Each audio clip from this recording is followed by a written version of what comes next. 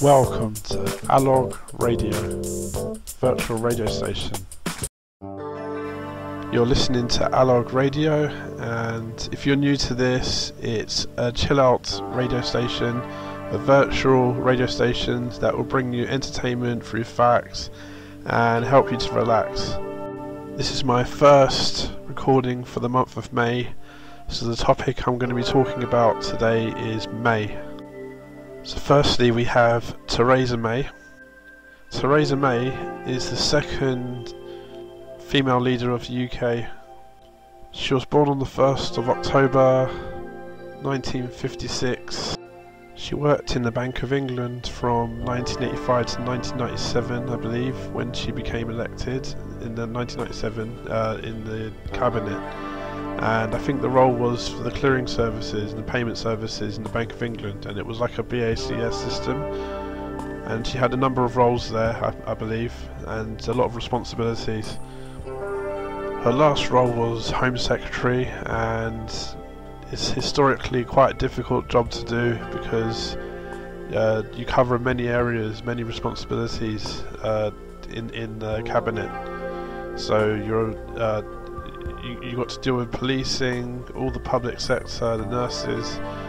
Um, maybe not so much the nurses because it comes under health, but the, even she has to cover that as well, and also uh, a number of roles to do with um, uh, public uh, civil matters. So it's quite a difficult job, and it's uh, some might argue it's equally as difficult as being PM. If you're wondering why I'm talking about Theresa May, it's because her surname is May and my topic today is May, the month of May, and anything connected to it, like May, Theresa May, and Brian May. I'm hoping that you're chilled out now and you're relaxed and you've forgotten all your stress. And if you haven't, uh, take a deep breath, breathe in, breathe out, and try and enjoy the facts that I'm feeding to you now. But if you're not, just to take a pause for a minute, take a deep, deep breath, then breathe in and breathe out. Going back to Theresa May, she's been in government since uh, 1997 and she was an MP in Maidenhead and she was brought to the cabinet uh, for some time as well uh, because of her background in the Bank of England and her roles in uh, in that kind of area. She's been uh, trusted with uh, the party for quite some time. She's been Transport Secretary at some point also. Her father was a vicar and he was in the Church of England for quite some time as well. She's the only child of that marriage. Her father died in a car accident and her mother died of multiple sclerosis. I didn't realise multiple sclerosis causes death, but it did anyway, her mum. While May was the Home Secretary in 2013, she banned the drug khat. Uh, khat is like a plant or a leaf that you chew in your mouth and it creates a feeling of euphoria similar to what you get if you have a very very strong coffee. Like you know if you go to Starbucks and you have like the um, double americano or something like that like a strong americano and it's like that but it's much it's, it's stronger than that. A lot of uh, East European East Africans would um, chew it because it grows quite a lot in the in that, those countries, and also in Israel it's legal. I think you can still chew it, but here in the UK can, it's actually illegal to chew khats in your mouth. It's actually classed as a drug, a C-class drug. Uh, it's got the same uh, status as uh, cannabis. She's more famous for promising to bring down immigration to tens of thousands and not being able to do that because of uh, red tape because of you know we're in the EU. There's uh, un uncontrolled immigration. Uh, there's freedom of movement. So no matter what you do, you can't really promise to bring immigration down to tens of thousands. Because if a hundred thousand Europeans want to come, they can come. You can't stop them. Uh, we've left the EU recently, and she's supported that. She's like a convert Brexiteer now but she was the Home Secretary when immigration was soaring high.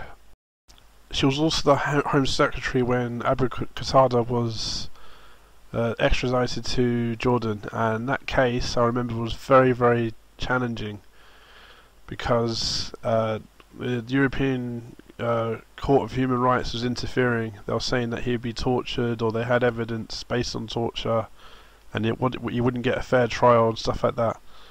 And what she she uh, had to go to Jordan and get them to sign uh, an agreement that they wouldn't use evidence obtained from torture and they wouldn't torture him.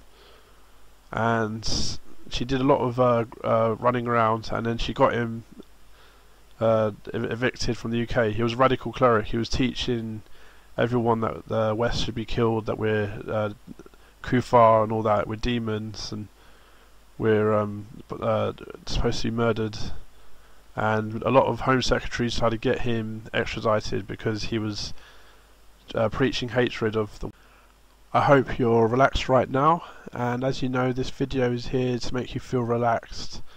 If you're not relaxed enough, remember to deep in, uh, breathe in deeply through your nose, breathe out slowly through your mouth, take deep breaths, and try and distance yourself from whatever's bothering you uh, mentally, and try and zoom into this and uh, enjoy the facts.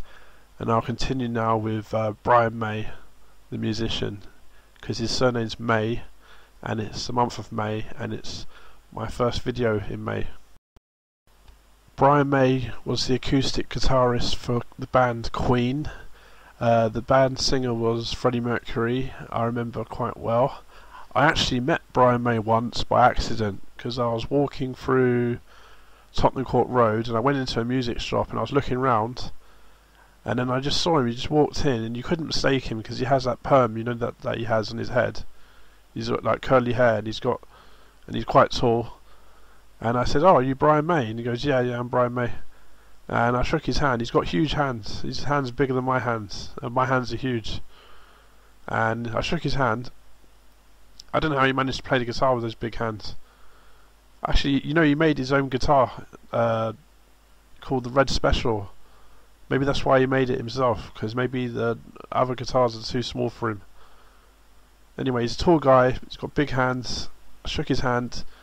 I said, what you up to these days? He says, I'm into physics now. I thought he was joking. But I found out later that he actually is a physics professor at a university. I never asked him for his autograph because I, I wasn't expecting to see him and I didn't expect uh, I, I don't usually I don't ask for, for autographs anyway because I don't believe in that I don't believe that anyone should be treated any sp more special than anyone else he was born on the 19th of July 1947, and that's very close to my birthday. Just uh, less than a week of my after my birthday, which is on the 15th of July. He was friends with Freddie Mercury, uh, and uh, they formed a band called Smile, and they changed their name to Queen, but they're originally called Smile.